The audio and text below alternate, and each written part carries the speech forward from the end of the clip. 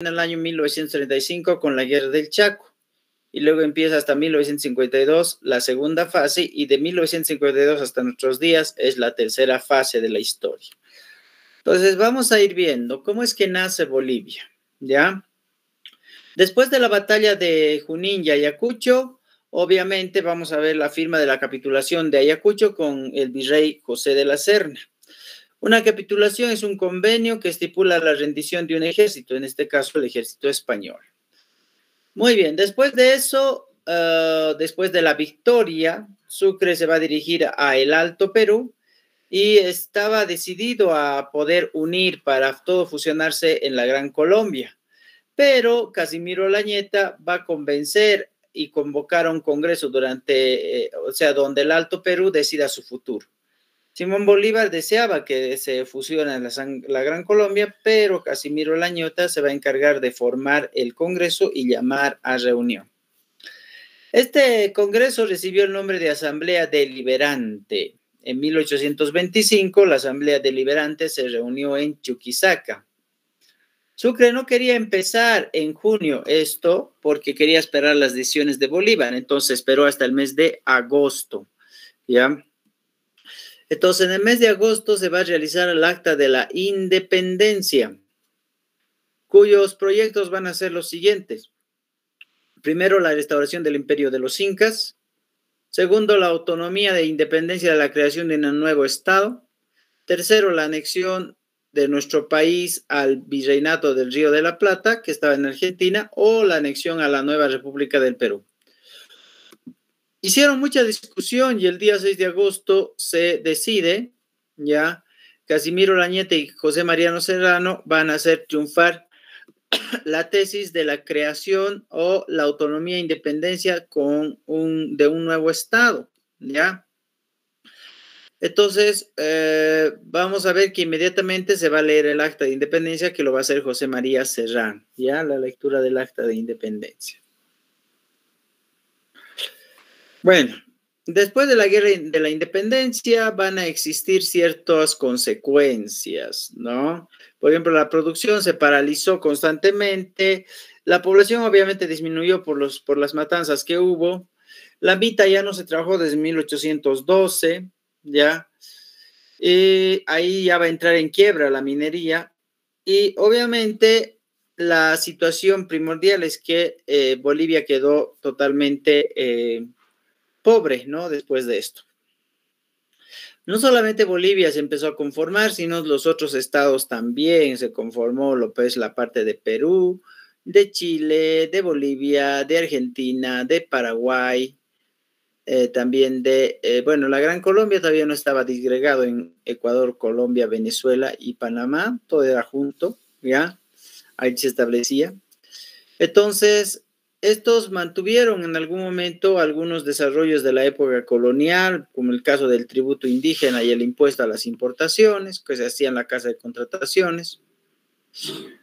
Y así es como se iban dando las, eh, las eh, repercusiones. Como podemos ver, Bolivia, un principio, naciendo con más de 2 millones de kilómetros cuadrados de extensión en 1825. Bueno, vamos a establecer nosotros, hay un término acá que es el utiposidetis, el utiposidetis juris, nos dice acá. Eh, la organización de las fronteras bajo tres principios. Primero, el utiposidetis, la libre determinación y la colonización. El utiposidetis eh, significa cómo poseéis, viene del latín. Se dice principalmente que es la posesión del terreno al cual se pertenece. Y en este caso, la parte de Bolivia era comprendida todos esos territorios. Simón Bolívar va a entrar a la presidencia el año 1825, de agosto a diciembre, y va a establecer algunos cambios en la primera constitución política del Estado sacada en el año 1825. Primero, el país se llamaría República de Bolívar. Simón Bolívar sería el presidente y el 17 de agosto se crearían los símbolos patrios. ¿Qué va a hacer Bolívar durante su gobierno? Primero va a ratificar los títulos coloniales, como el caso de gobernador, o corregidor también. Abolió, ah, va a abolir el casicazgo, o sea, va a eliminar el trabajo que los indígenas hacían por un pedazo de tierra. va a prohibir el trabajo gratuito y obligatorio y va a abolir el tributo indígena. Esta constitución establecía los siguientes códigos, o digo los siguientes poderes, perdón. Eh, el poder legislativo, que estaba compuesto por tres cámaras, senadores, tribunos y censores. El poder ejecutivo, un presidente, que en este caso era Simón Bolívar, era vitalicio y cuatro ministros. Y el poder judicial formado por la Corte Suprema de Justicia. Hay que tomar en cuenta también que, que había una diferencia entre ser boliviano y ser ciudadano. Hasta 1952, el concepto de boliviano era todo aquel sujeto que nacía en este país se consideraba boliviano. El concepto de ciudadano es lo que variaba porque antes del año 2000, eh, digo, antes del año 2009, podríamos decir que fue la última constitución, pero antes de eso, ya, se establecía que ciudadano era aquel mayor de, de 21 años, género masculino que tenía riquezas, ¿ya? Ese era el concepto de ciudadano. Tenía que saber leer y escribir, ¿ya? ¿Ok? Bueno, ya en 1826 hasta 1829 entra la presidencia de Antonio José de Sucre durante tres años, ¿ya? Primero va a organizar el país en departamentos, provincias y cantones. Departamentos, provincias y cantones. Su reforma va a establecer la reforma eh, eclesiástica, dejando que el país sea un país laico. Va a generar una reforma educativa, estableciendo principalmente el proceso de la educación eh, fiscal, educación gratuita solo para el nivel primario.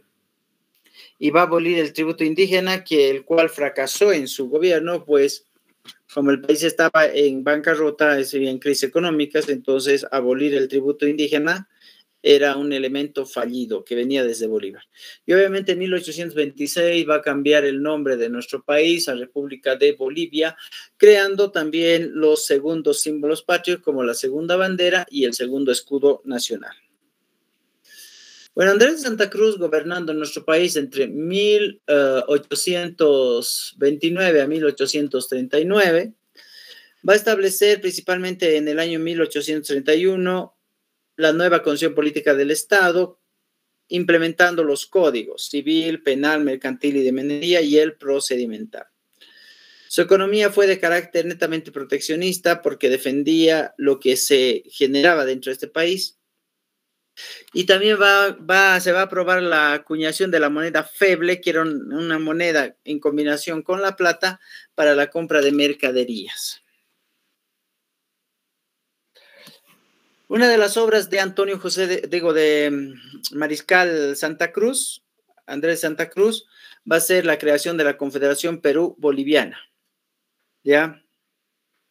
¿Por qué? Porque quería seguir el sueño de Bolívar. Si iba a fusionar la Confederación Perú-Boliviana, se iba a unir al Perú y a la Gran Colombia. Todos, todos querían que sea la Gran Colombia el sueño de Bolívar. En 1835, él va a establecer principalmente eh, esta confederación. Pero esta va a entrar en, como dijimos nosotros, entra eh, en fracaso en el año de 1939, 1839, perdón, va a disculpar el dato ahí, 1839, porque los chilenos van a intervenir dentro de este proceso para que Bolivia y Perú no tengan alianzas. ¿Ok? Entonces, vamos a nosotros establecer principalmente. Después de Santa Cruz entró el gobierno de José Vallivián, que combatió en la batalla de Ingavi contra los peruanos, pero que obviamente los peruanos no vencieron en esa batalla. Bueno, entramos a la época del caudillismo y vamos a tener algunos presidentes caudillos. Tenemos entre 1848 y 1855 a Manuel Isidoro Belsu. Manuel Isidoro Belso, apoyado el Tata Belso, eh, estableció una economía de carácter proteccionista. Bueno, hay una diferencia entre proteccionismo y libre cambio, que después con los liberales y los conservadores también va a haber este proceso de discusión. El proteccionismo es el respeto y el valor a lo producido en tu país y no comprar productos de afuera, ¿sí? O sea, del exterior. Mientras el libre cambio apoya lo que es la empresa privada y también adquirir productos que vengan de afuera. Entonces, el proteccionismo era respetar y proteger lo, que se producía en el país. Otro de los presidentes, entre 1857 a 1864, tenemos a José María Linares. Este es el único caudillo que no fue militar, fue civil. Y se declaró dictador después, porque en la época del caudillismo entraban en base de golpe de Estado al poder. Él apoyaba el libre cambio, vale decir, la propiedad privada y el hecho de, de las de la economía que venía desde afuera. ¿Sí? ¿Ok? Muy bien. Y tenemos un tercer caudillo entre 1864 a 1870. Tenemos a Mariano Melgarejo. Bueno, Mariano Melgarejo había hecho los siguientes tratos. Con Brasil le, le cedió parte del Mato Grosso y con Chile permitió que los chilenos sacaran sus productos, explotaran la plata, el guano y el salitre de manera gratuita por 25 años, sacándolas de nuestro país. Ok, el caudillismo son militares que pelearon por la independencia y fueron presidentes por golpe de Estado. Muy bien, pregunta. ¿Quién es el que se encargó de armar la Asamblea Deliberante o el Congreso para la independencia de este país, para la creación de este nuevo Estado? Casimiro Leñeta. Así es, muy bien. Orureño del nacimiento, ¿ya? Perfecto. ¿Dónde se, firmó, dónde se leyó leyó, sí, donde se leyó el acta de la independencia.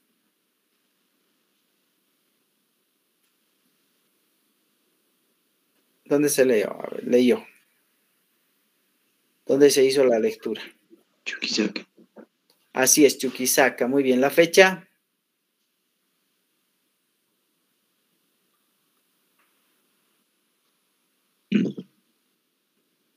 ¿Qué fecha se hizo la, leída del acta de la independencia? 6 de agosto de 1825. Así es, muy bien. Siguiente pregunta. ¿De cuándo a cuándo gobernó Bolívar?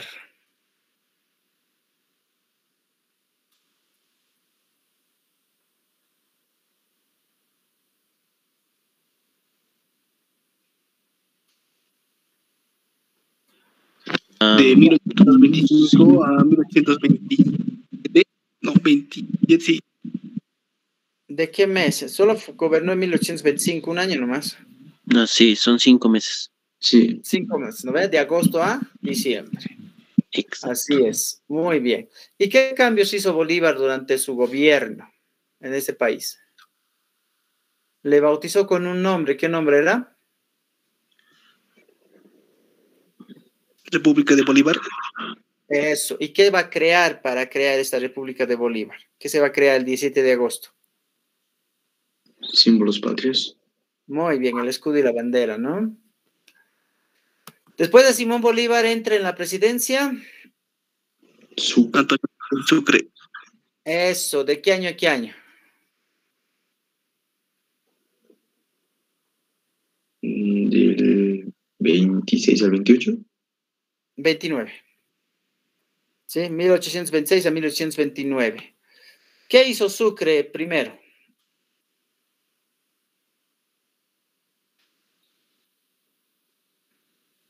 Organizó el país. ¿Y cómo lo organizó? Era un estado laico. No, primero están los de par. Después los símbolos. No, departamentos, luego las pro. Las provincias. Y, finalmente los. Can. Cantones. Eso, a ver otra vez. ¿Cómo formó, cómo distribuyó Sucre en nuestro país? Departamentos, provincias y cantones. Eso, departamentos, provincias y cantones. Muy... El departamento que crea Sucre el departamento que crea Sucre en la división es el departamento de Oruro, ¿no? Que antes era una provincia de Cochabamba. ¿Ya? Entonces va a crear seis departamentos. ¿Está bien? Ahora bien, em, después de Sucre, ¿quién entra a la presidencia? Santa Cruz. Santa Cruz, muy bien. ¿De qué año a qué año?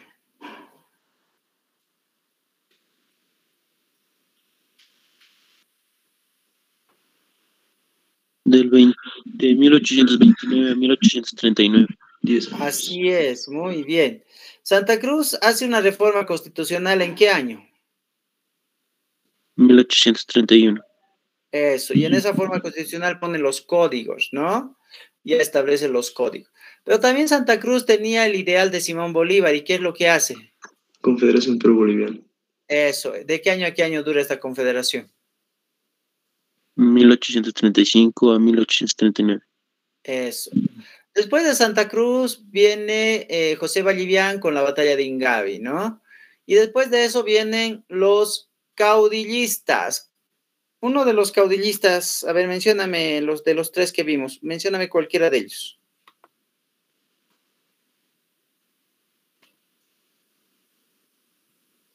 Eh, José María Linares.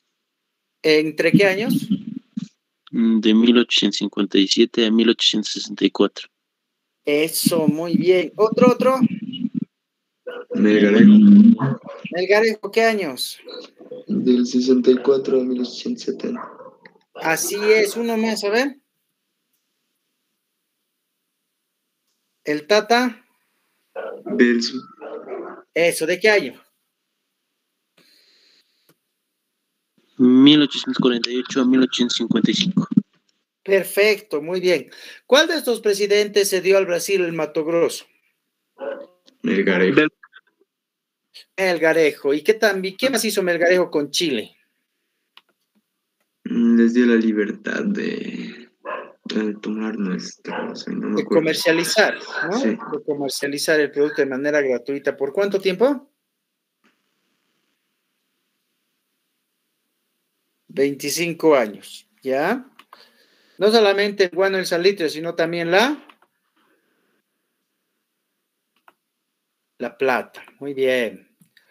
Ok, hablemos de la economía de la plata. Habíamos dicho nosotros que la economía de la plata entró en un gran déficit, más o menos desde 1810, cuando se dio eh, los gritos libertarios, los segundos gritos libertarios, tanto de Cochabamba, Santa Cruz y Potosí, hasta 1872 no había, min- no había plata.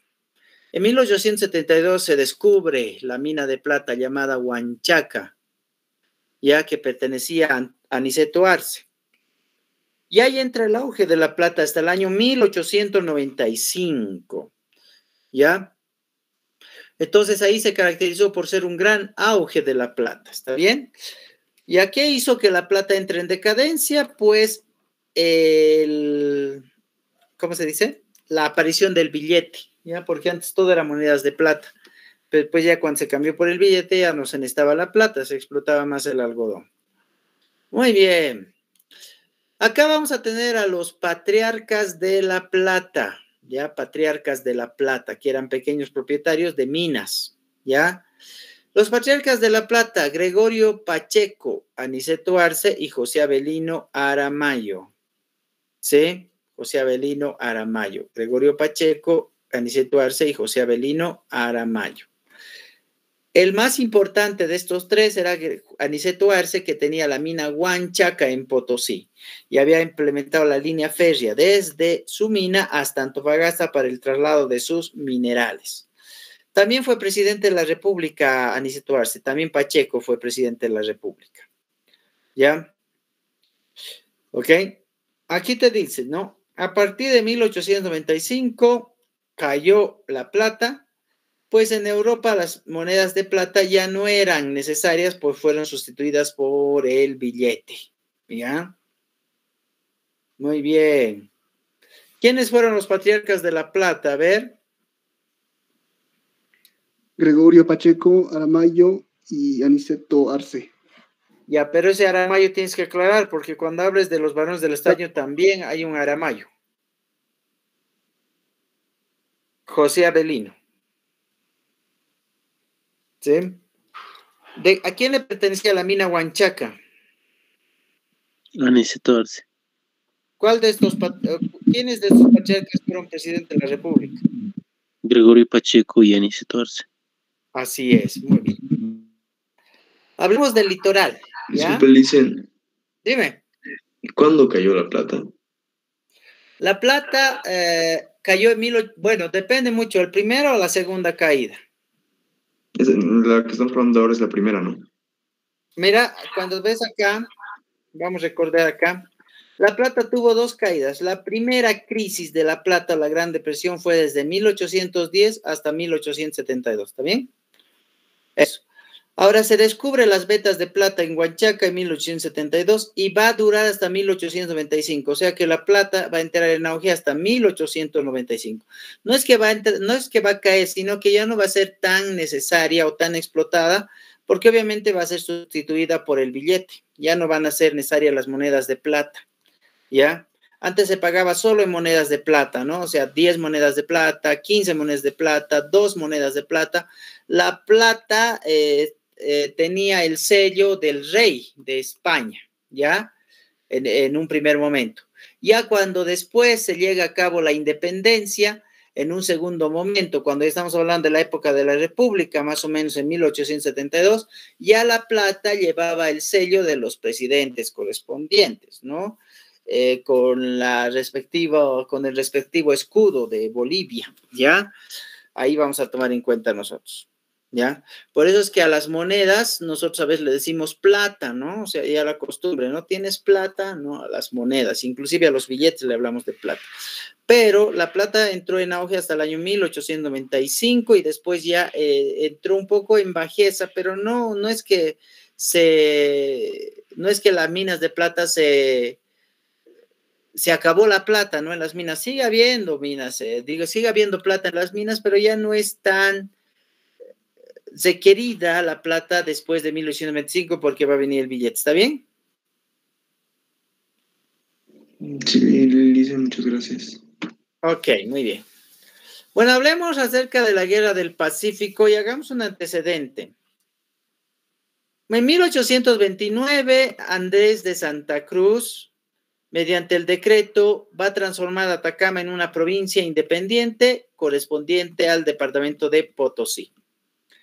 En 1839, Velasco, Miguel de Velasco, va a elevar el litoral a distrito con un prefecto.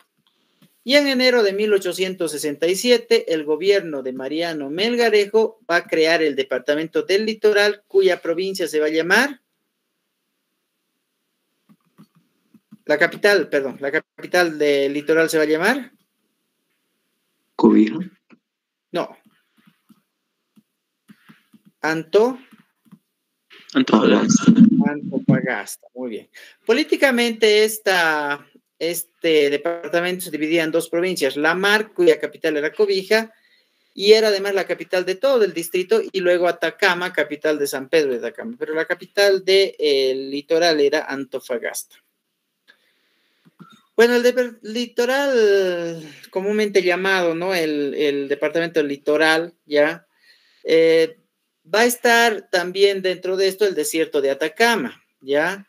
Que eh, va a pertenecer a Bolivia desde 1825 hasta 1879, ¿ya? Muy bien. Bueno, vamos a tomar en cuenta nosotros que al nacer nuestro país, eh, el litoral tenía alrededor de 3.700 habitantes. ¿ya? Y en el año 1855, 5.500 habitantes. Al momento de la guerra teníamos más de 15.000 habitantes, ¿ya? Y eso generaba una gran población en este territorio. La mayor cantidad de habitantes era de origen chileno, ¿ya? Bueno, ¿por qué eh, se dio la guerra? Vamos a tomar en cuenta nosotros que Melgarejo había dado la posibilidad de el traslado gratuito de las tanto de la plata, el guano y el salitre. ¿Ya? ¿Quiénes habían visto la posibilidad de explotar especialmente el guano y el salitre? Obviamente los ingleses, quienes lo habían visto como una especie de fertilizante para la producción agrícola. Y es por esa razón que convencieron a los chilenos para que esto para que fueran a adquirir estos productos de las costas tanto peruanas como bolivianas.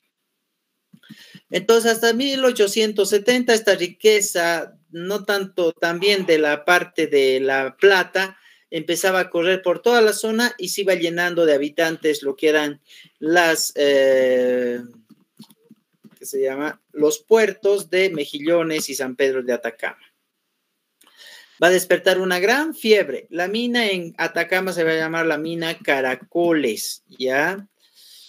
Muy bien.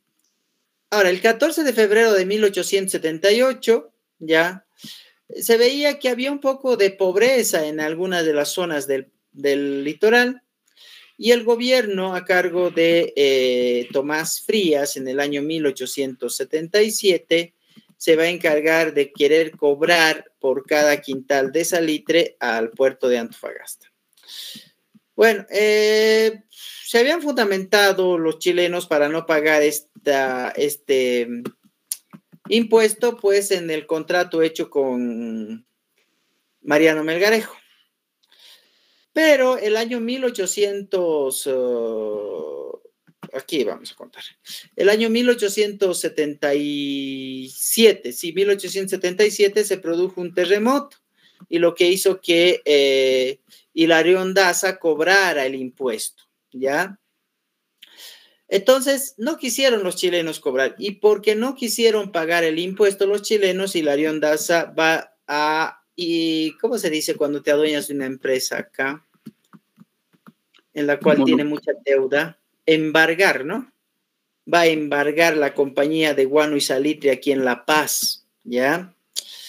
Entonces, Chile lo primero que va a hacer va a invadir Antofagasta. ¿Qué fecha invade Antofagasta Chile?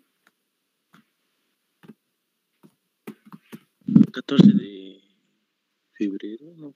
14 de febrero de 1879. Esa fecha, ¿en qué fiesta nos encontrábamos nosotros? Carnavales. Carnavales, ¿no ves? ¿Se acuerdan? Han debido ver eso en el colegio también, ¿no? nosotros bailando aquí, ¿no? Pero echa ya los chilenos invadiendo. ¿Y qué pasó con los bolivianos que vivían en Antofagasta? Por ejemplo, Antofagasta tenía 6.000 habitantes, ¿ya? 5.000 eran de origen chileno y 600 eran bolivianos. El resto eran de varias nacionalidades. Y viendo que eran pocos bolivianos, muchos de ellos tuvieron que abandonar para evitar ser asesinados por los chilenos. Invasión de Antofagasta, 14 de febrero de 1879. Bueno, Chile defendía cumplidamente sus intereses, ¿no? De los, del capitalismo que pedían los ingleses. Después del 16 de febrero, los chilenos tomaron el centro minero de Caracoles. Eso se adueñaron de las minas de plata, ¿ya? Luego, el 25 de febrero llegó a las manos de Daza una proclamación donde se decía que había sido invadida Antofagasta. ¿Quién llevó esto? Llevó el Chasqui Gregorio Colque, llamado también el Goyo, ¿ya? Hizo un recorrido desde lo que es la distancia de Antofagasta hasta La Paz en cinco días.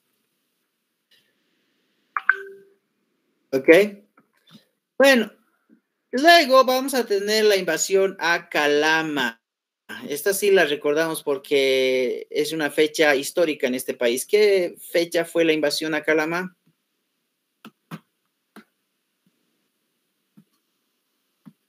¿Qué fecha es el Día del Mar? Ahí está, a ver. 3 de marzo. 6 de marzo. 23 de marzo de 1879. ¿Ya? El 23 de marzo de 1879, los chilenos invadieron Calama. ¿Ya? Y aquí se encontraba el famoso Eduardo Avaroa, que era alcalde de Calama. Defendió en el puente Topater para no dejar pasar a los chilenos. Su ejército era de 135 hombres contra 544 de los chilenos. Acá también se encontraba Ladislao Cabrera, defensor de esto. Nosotros recordamos a Eduardo Avaroa, ¿no? Con el famoso dicho. ¿Cómo es el dicho de Eduardo Avaroa?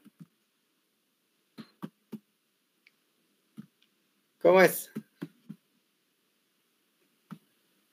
Nada, los jóvenes no se acuerdan del dicho. ¿Qué es, Zona? Morirme yo se muera su abuela. Rendirme yo, que se rinda su abuela, ¿no? Carajo, les dice, ¿no? Muy bien. Ok, bueno, después tenemos también eh, la participación del Perú en la guerra, junto con el presidente Ignacio Prado, ¿ya? Eh, se va a asociar con, eh, ya no con Hilarión Daza, sino con Narciso Campero, quien le va a hacer golpe de Estado a Hilarión Daza, ¿ya? Narciso Campero va a participar en la batalla del Alto de la Alianza, que se va a empezar el 26 de mayo de 1880. Eh, los chilenos habían preparado un ejército de 19 mil hombres y en el caso de los peruanos y bolivianos un total de 12 mil hombres. Bueno, hubo más de 5 mil muertos. Aquí Bolivia se va a retirar el año 1882 y Perú va, a pelear hasta, la, hasta 1883 en la guerra. Eh, ¿Qué año qué año fue la guerra del Pacífico?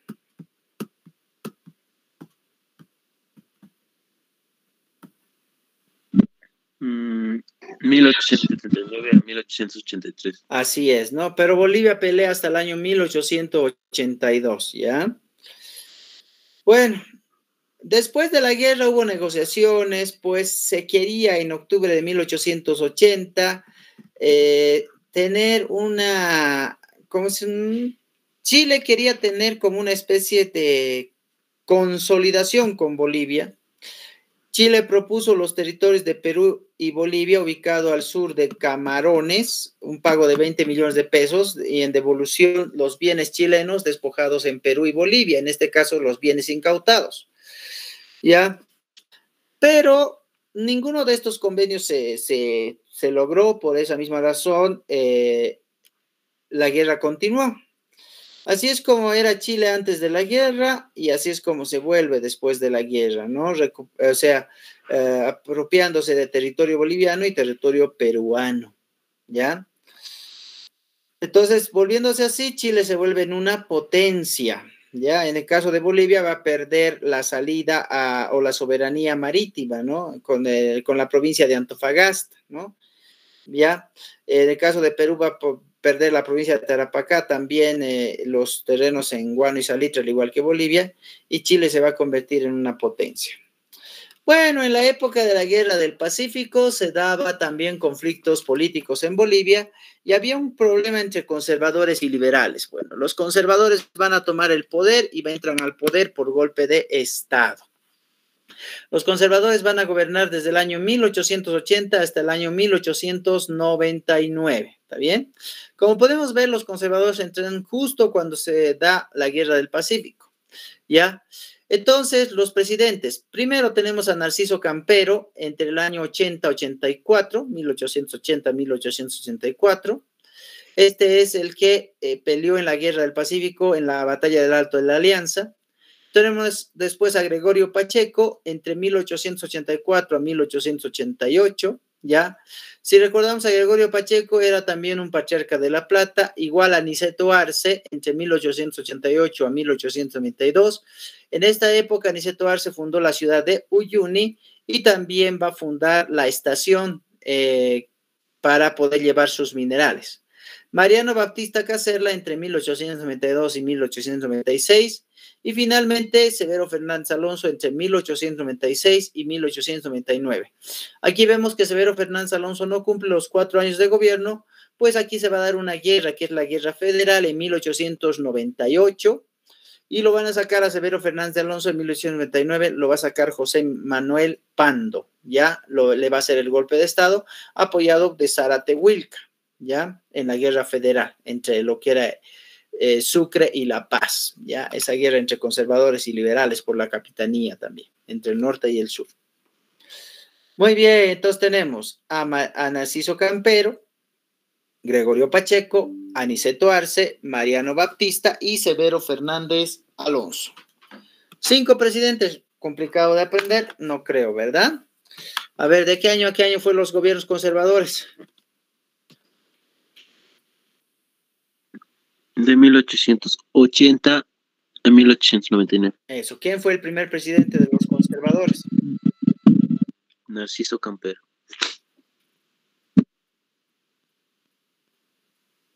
¿Quién fue el primer presidente? Narciso Campero. ¿A quién le hizo el golpe de Estado Narciso Campero? Ah, Hilarión. Daza. Eso, Hilarión Daza. Y con Hilarión Daza comenzó la guerra del Pacífico, ¿cierto? Ya. Después estamos con el primer patriarca de La Plata, Gregorio Pacheco, luego Aniceto Arce, que era el segundo patriarca de La Plata. ¿Ustedes creían, es una pregunta de cultura general, ¿ustedes creían que estos estaban de acuerdo con la guerra del Pacífico? No. ¿Por qué? Mm, Porque no estamos en ventaja, estamos en desventaja. Además, evitaba que sus minerales salgan por los puertos del Pacífico, ¿cierto? Sí. O sea, les perjudicaba en su totalidad para el comercio de la plata. ¿Ya? Muy bien. ¿Quién derrocó a Severo Fernández Alonso y en qué guerra? A ver. Mm, Pando en la guerra del Acre. No. No, no, no, no, me he equivocado. Federal, federal. Federal. ¿Qué año fue la guerra federal? ¿Entre qué años?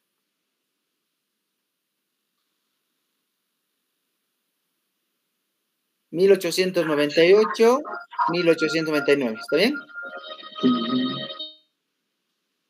Sí, ¿no ve? Ok.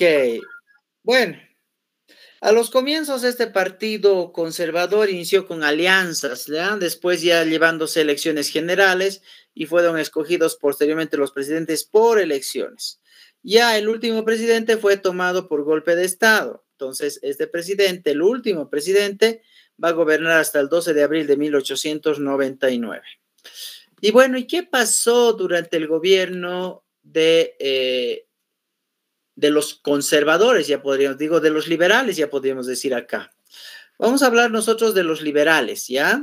Vamos a hablar un poco acerca del liberalismo. El padre del liberalismo es Adam Smith, ¿ya? Quien planteaba una doctrina de libre cambio, de libertad total. Y aquí es cuando vamos a hablar nosotros de liberalismo en nuestro país, donde tenemos algunos de los presidentes, ¿ya? Luego vamos a hablar de un conflicto que se dio en este tiempo. Tenemos a José Manuel Pando, quien hizo el golpe de Estado. ¿A quién, ah?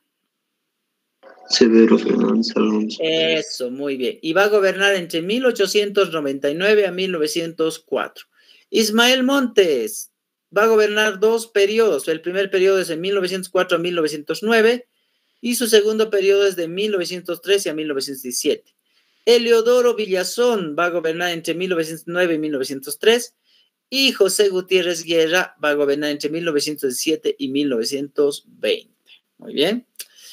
Ok, con José Gutiérrez Guerra va a finalizar este gobierno, luego viene un golpe de Estado de los republicanos ya también, ¿no?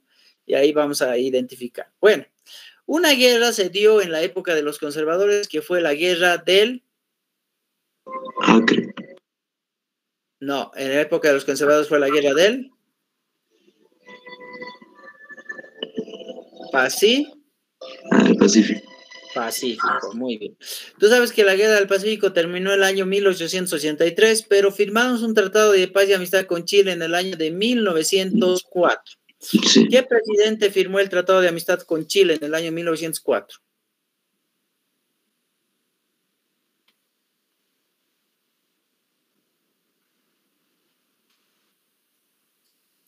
¿Qué presidente?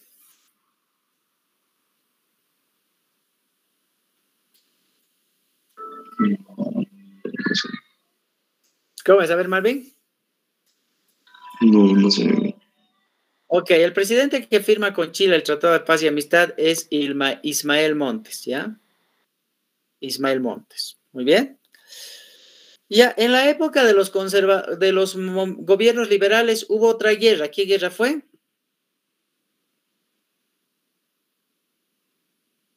¿Qué guerra fue? ¿Qué guerra fue? Ahora sí es lo del Acre. Eso, ¿qué fe ¿entre qué años se dio la guerra del Acre? En 1899 a 1903. Eso, muy bien. ¿Cuál fue el motivo de la guerra del Acre? Porque una cosa de la guerra del Pacífico fue el guano y el salitre. En la guerra del Acre, El gaucho. Gaucho. el caucho y la Goma. Castaña. ¿Sí? Bueno, Bolivia estaba saliendo de una guerra que era la guerra federal.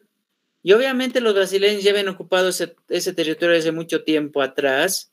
Y al darse cuenta que había una riqueza que se estaba explotando, que era la goma, entonces se decidió fundar lo que vendría a ser el puerto, ah, puerto, Alonso.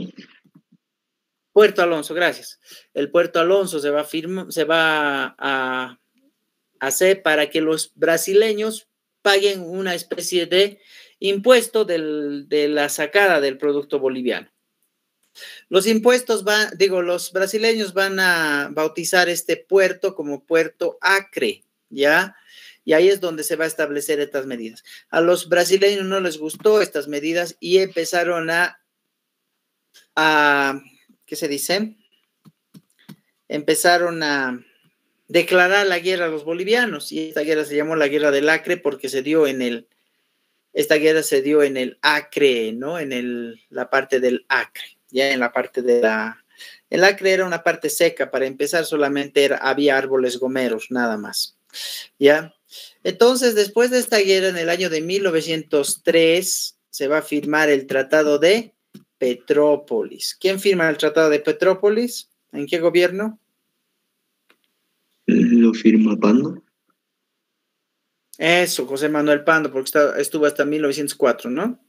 Entonces, acá vamos a ver nosotros también que eh, se va a establecer ya que eh, se ceda a Brasil un total de 191 mil kilómetros de territorio, ya 191 mil kilómetros cuadrados. Bueno, después de los liberales vienen los republicanos, ¿ya? Antes, antes, vamos a tratar de captar los años, ¿está bien? Los eh, gobiernos conservadores ya sabemos, ¿no? ¿Entre qué años gobernaron los conservadores? De 1880 a 1899. Eso, los liberales, ¿entre qué años gobernaron? 1899 a 1920. Muy bien, así es. Y aquí tenemos a los republicanos, gobernados entre 1920 hasta 1936. Había otra guerra en estos republicanos. ¿Qué guerra sería? Chaco. Así es, la guerra del Chaco, ¿entre qué años fue?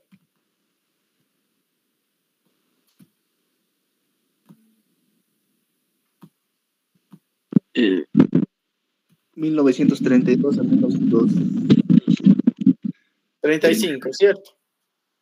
Entonces, ¿qué gobiernos serían que participaron en la guerra del Chaco? ¿Qué presidentes?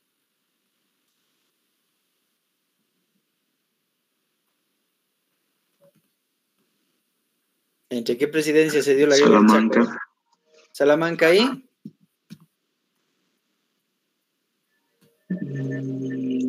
Saavedra. No, pues porque tú me estás diciendo que la guerra es del 32 al 35. No, pues, sí, sí. A ver, Salamanca ahí.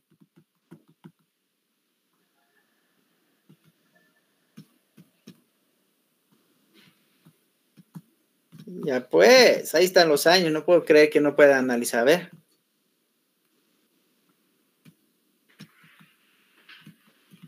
Salamanca y quién? José Luis Tejada. Eso, José Luis Tejada Sosano. En la guerra del Pacífico, ¿entre qué presidencias se dieron? A ver. Narciso Campero y Hilarión Daza. Eso, muy bien. Al revés, primero, Hilarión Daza y luego Sí, Narciso sí. Campero, ¿ya? Y en la guerra del Acre, ¿entre qué, ¿en qué presidencia fue la guerra del Acre? José Manuel Pando. Eso, por ahí les preguntan, ¿ya? En tres de estas guerras solamente hubo una presidencia en tres de estas guerras. ¿Cuál fue eh, la guerra donde solo hubo un presidente y no dos? El Acre. Eso, la guerra del Acre, muy bien, con Brasil, ¿no? Contra Brasil. Muy bien, los republicanos, empezamos con la toma de gobierno, ¿ya? ¿Ok? Por la Junta de Gobierno eh, establecida por Bautista Saavedra, José María Escalier y Manuel Ramírez entre 1920 y 1921. Se llevaron las elecciones y se elige a Bautista Saavedra como presidente en el año 1921 al 1925. Luego entramos otra vez con Felipe II Guzmán para llamar a elecciones, por eso se ve un año nomás de gobierno entre 1925 y 1926, donde se elige a Hernando Siles, que va a estar en el gobierno entre 1926 y 1930. Aquí vamos a hacer un paréntesis. Hernando Siles tuvo dos hijos que fueron presidentes. ¿Quiénes fueron?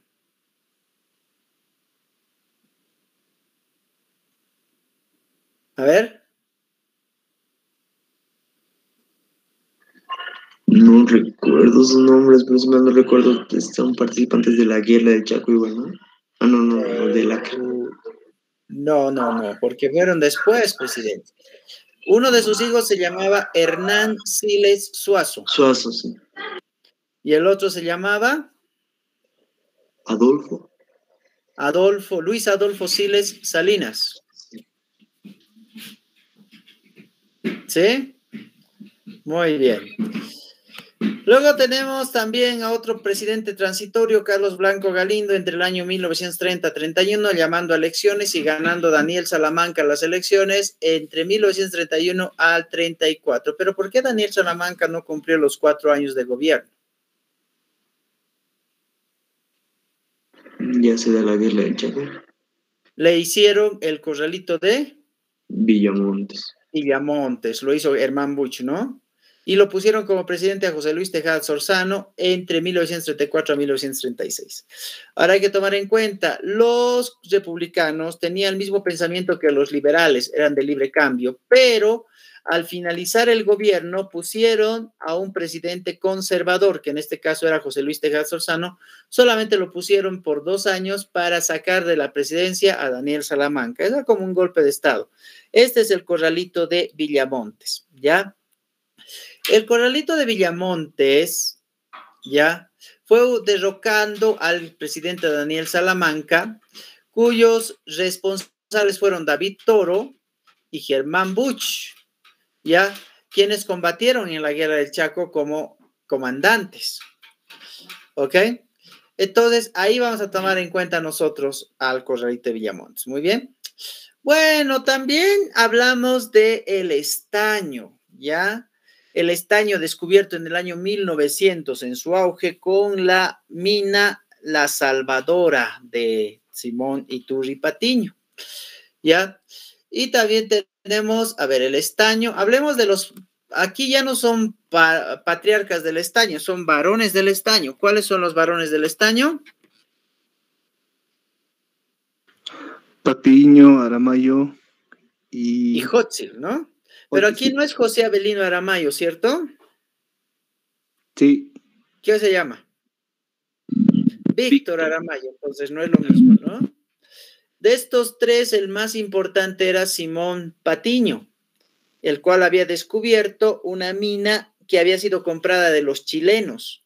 Y esta mina después la va, la va a bautizar como la Salvadora, porque le dio muchas ganancias.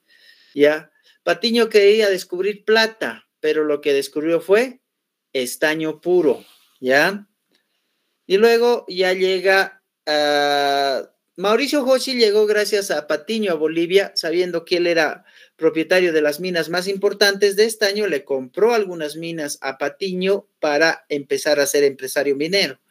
Y Aramayo también había comprado algunas minas de Patiño igual, que era como sociedad, eso y todo se convertía en la parte del estaño. En el caso de la goma, era explotada principalmente en la parte del, oriente, ¿ya? Y pues la goma también entró en su auge correspondiente, al igual que la plata. Pero acá vamos a hablar nosotros del rey del caucho. ¿Cómo se llama el rey del caucho? Aquí les dice el nombre, Nicolás Suárez, quien se encargaba de producir goma. Pero ¿qué es, lo que, qué es lo que le hizo entrar en quiebra la goma a, a Nicolás Suárez. ¿La guerra? No. ¿Qué dice acá en esta partecita? Aquí me lo puedes leer aquí, desde este punto para abajo. Sin embargo, en la, en la segunda década del siglo XX comenzó a decaer dicha explotación debido a las nuevas plantaciones realizadas por los británicos en países como Malasia e India, con 7.000 semillas robadas del acre. Eso, entonces llevaron semillas allá y sembraron y salieron árboles y salió goma, ¿no? Entonces ya no estaban goma boliviana, ¿por qué? Porque la goma boliviana era un poquito más cara, entonces ellos lo vendían a precio un poco más barato y ahí entró Nicolás Suárez en decadencia. Nicolás Suárez había fundado Cachuela Esperanza, donde se encontraban las plantaciones más importantes de, de goma. ¿Cómo se medían las plantaciones? Eh, las plantaciones gomeras se medía por estradas, ¿ya? Una estrada tenía hasta 500 hectáreas de, dimensión. ¿ya? Entonces ahí vamos a identificar nosotros. Bueno, en la época de los liberales, ¿no? Antes de los republicanos, vamos a tomar en cuenta nosotros que eh, estamos eh, con 1.816.271 habitantes, indígenas, mestizos, blancos, negros, ¿ya? Y había mucha gente analfabeta que no sabía leer ni escribir, por eso se consideraba que no estaban dignos de elevar el voto, ¿ya? Muy bien. Vamos a hablar ahora de la guerra del Chaco, dada entre 1932 a 1935. El Chaco Boreal que es lo que llamaban también el Gran Chaco, tenía una dimensión de 500 mil kilómetros cuadrados, ¿ya? Y Paraguay era este territorio que antes era así, pero una vez que vino la guerra de la Triple Alianza, Paraguay se redujo a la cuarta parte de su territorio. Bueno, los, paraguayos eh, tenían cierta sospecha. Primero, sospechaban que existían reservas de petróleo en el sector, por eso empezaban a luchar por ese territorio. Y segundo, que sí explotaban, explotaban lo que es el quebracho, que era una madera dura, y el tanino, que servía para hacer algunos medicamentos. Bueno, tuvimos nosotros dos guerras anteriores, pues la guerra del Pacífico y la guerra del Acre, ¿no? Aquí les dice los años, entre 1879, 1883, 1899 a 1903, ¿no?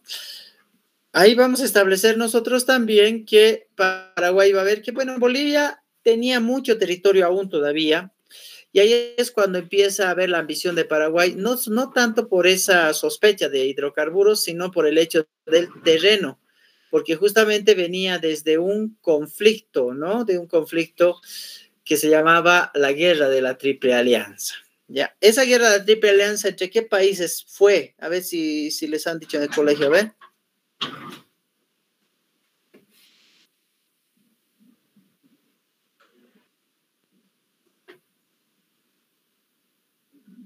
¿Qué países pelearon en la guerra Alianza? Argentina, Bolivia y Chile. no se me acuerdo bien. Argentina, Brasil, Uruguay contra Paraguay. Muy bien. Y le absorbieron su territorio, ¿no? A la cuarta proporción.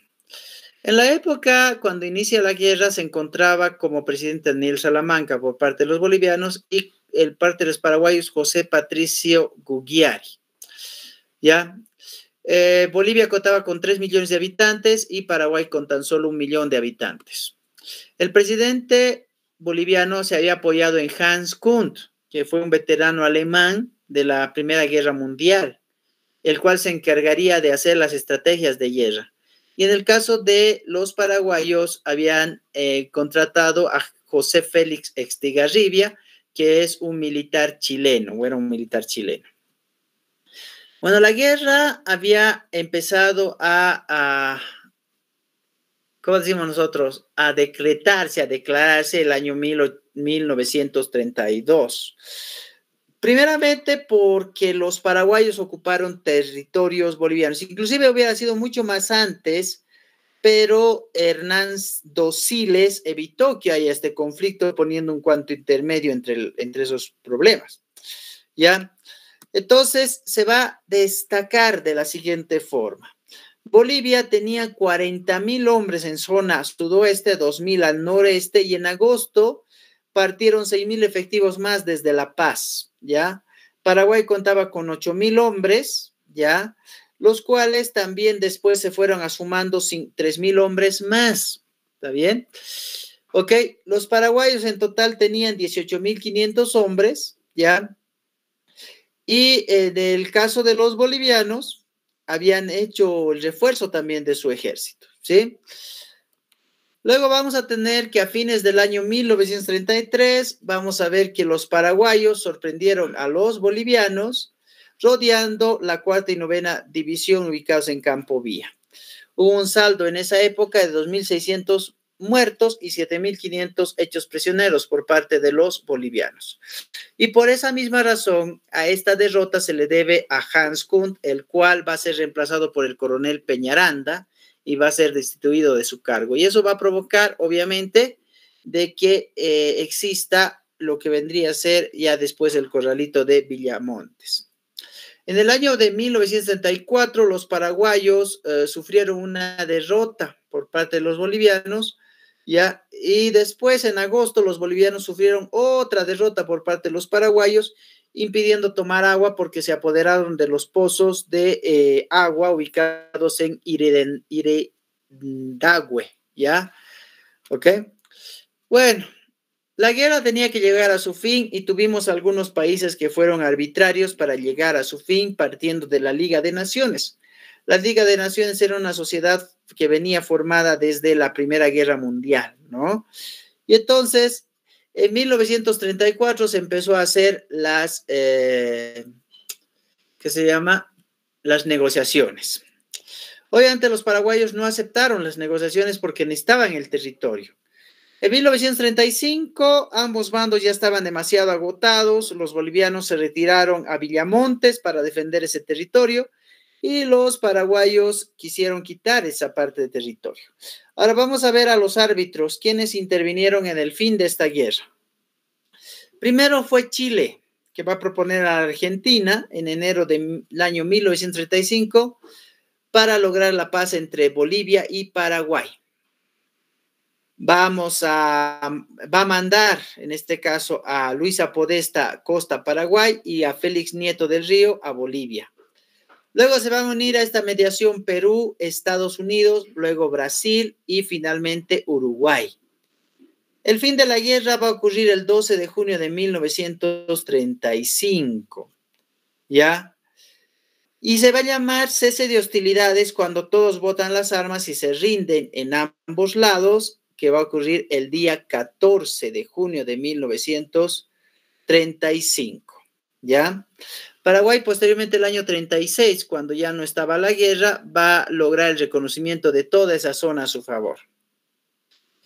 Bueno, en el año de 1938 se le va a ceder a Paraguay un total de 120 mil kilómetros cuadrados. ¿Cuánto es lo que medía el Chaco en principio?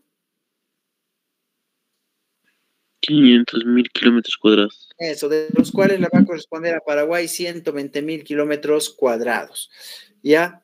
Entonces, a consecuencia van a ser pues 60 mil soldados bolivianos muertos, 30 mil van a ser, eh, o sea, digo 60 mil soldados, ¿no?